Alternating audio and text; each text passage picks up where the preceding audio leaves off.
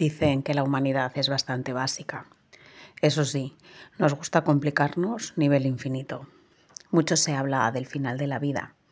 La vulnerabilidad crea vínculos y los hospitales son templos de declaraciones sinceras. Encontrar la paz antes de irnos pasa por un cúmulo de emociones, desde la negación hasta la aceptación. Por el camino encontramos la ira, el miedo y los ojalá. Algunos de los más comunes Ojalá me hubiera atrevido a vivir mi propia vida, no la que otros esperaban de mí. En este punto echas la vista atrás con claridad y descubres que te hubiera gustado ser un poco más tú y menos los demás. La vida va de elegir y reconoces los caminos que decidiste tomar y los que no. La salud tiene implícita la libertad que pocos son capaces de ver. Nos damos cuenta cuando ya no la tenemos. Ojalá no hubiera trabajado tanto.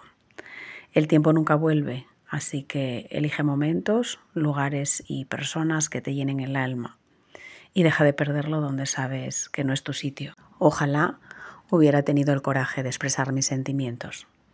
No expresar lo que sentimos enquista el alma, es vivir un poco a medias. Suprimir sentimientos no es saludable. La amargura y el resentimiento contenidos dan lugar a enfermedades.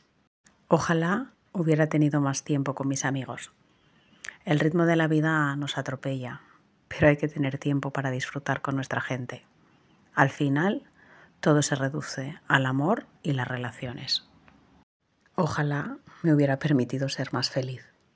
Si te quedas atrapado en viejos patrones, no serás capaz de ver que la felicidad está en ti.